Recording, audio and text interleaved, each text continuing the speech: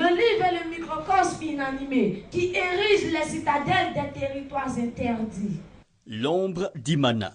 Le récit témoignage du drame du génocide rwandais de l'ivoirienne Véronique Tadjo compté sur scène.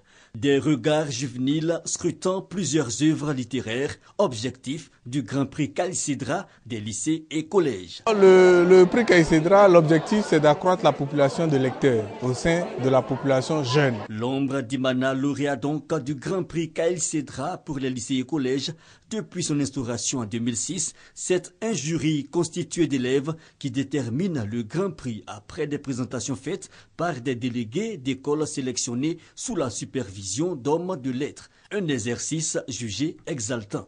Nous avons parcouru sept œuvres. Nous avons choisi de défendre une œuvre principale. Nous avons défendu les vers de Corythéus de Tommy Gobi Daliston.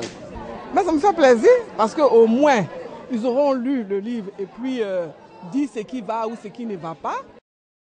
Innovation cette année, le Grand Prix des écoles primaires attribué à Rustom Hayat. Mais les initiateurs n'entendent pas s'arrêter à cette étape. Nous allons continuer d'offrir des ouvrages dans les établissements, aider les établissements à améliorer leur interface d'accueil dans les bibliothèques. Notons que 19 établissements scolaires et 14 ouvrages étaient en ligne de mire pour l'édition 2014 du prix Calicidra des lycées et collèges. Le livre est du modèle à sa guise, transformer éclaire l'humanité.